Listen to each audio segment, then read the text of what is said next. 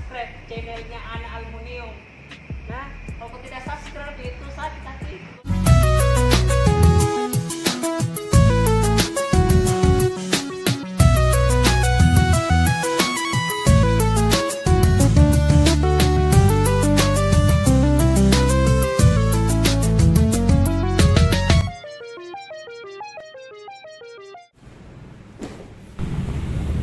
Assalamualaikum warahmatullahi wabarakatuh, guys. Uh, di video kali ini, uh, di sini saya mau berbagi lagi uh, sedikit pengalaman saya mengenai jendela casement dan ini jendela casement yang tiga profil, guys ya. Jadi saya mau berbagi bagaimana cara perakitan atau pembuatan jendela casement yang tiga profil, guys. Sekarang, nah di sini kita lanjut dulu, guys kita siap-siapkan dulu peralatan kita. Itu ada bor. Jadi yang kita gunakan di sini guys ya itu ada dua bor. Bor untuk pelubang dan juga bor untuk uh, menyengkrup guys. Nah jadi sini guys uh, di situ saya sudah potong untuk spikotnya. Guys ya seperti itu spikotnya. Jadi spikotnya nanti uh, modelnya seperti ini guys nah jadi dia di skrup uh, dari belakang guys ya. Seperti itu. Jadi kita potong uh, spikotnya guys itu uh, sesuai guys ya dari lubang uh, dari jendela casementnya guys. Terus kita skrup nah di situ guys saya alas ini apa saya alas kayu agar tidak goyang guys ya saat kita untuk uh, melubangi karena uh, bahan sendiri dari bahan jendela casement itu guys itu tidak rata guys ya. Jadi dia semak dia dia uh, ada semacam profilnya guys.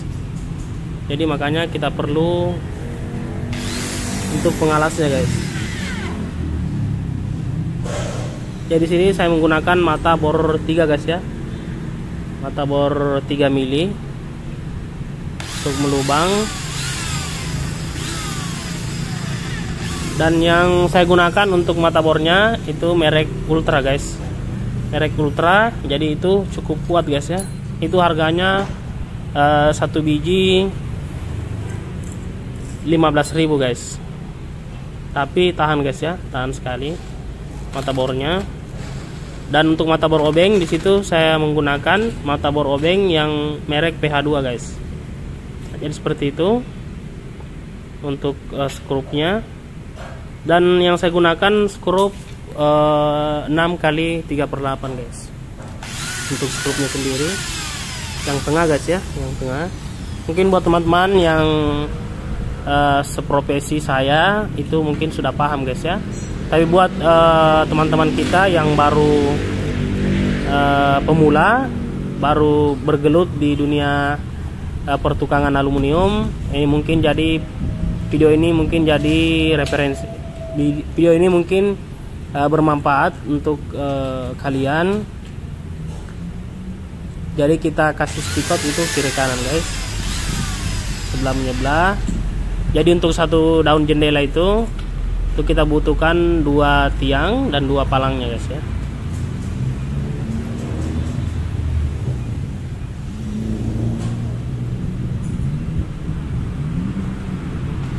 jadi kita di situ guys kita lubangi dulu. Setelah kita lubangi terus kita balik lalu kita sekrup guys.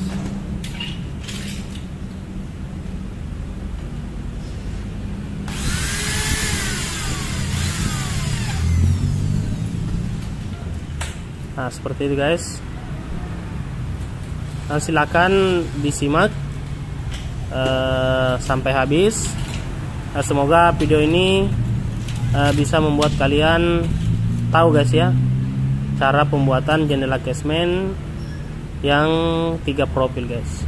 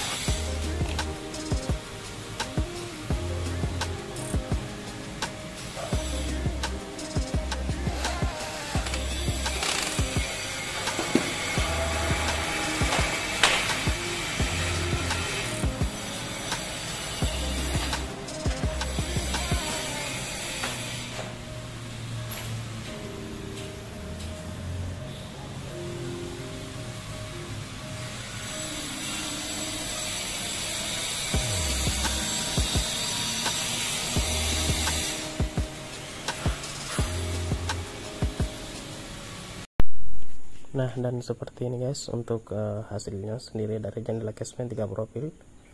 Itu untuk sudutnya sendiri itu cukup rapi guys. Nah di situ ada karet. Nanti tempat uh, sandaran kaca itu guys ya. Tapi di sini ada tutup lagi guys.